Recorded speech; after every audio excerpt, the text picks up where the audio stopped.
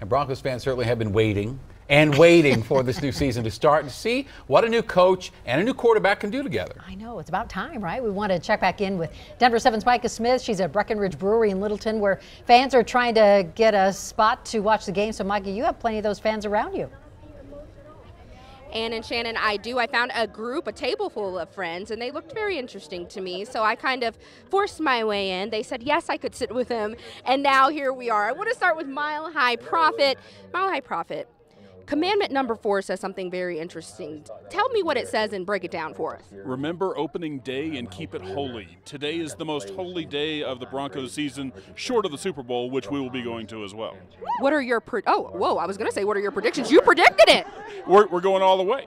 We are going all the way. Okay, and now we have former Bronco Nick Ferguson to my right here. You mentioned it feels like a Super Bowl. Elaborate on that. Well, think about the energy, kind of kind of living up to this game and coming up to it. It's a lot of energy here, and all the fans. We haven't seen the team practice or play in the preseason, so we're expecting something great here today. So I'm hoping that the Broncos can deliver on the road in Seattle.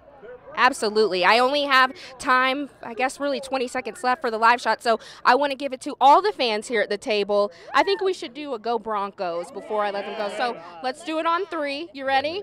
Oh, you want to do Let's Ride? Oh, we're switching it up. All right. One, two, three.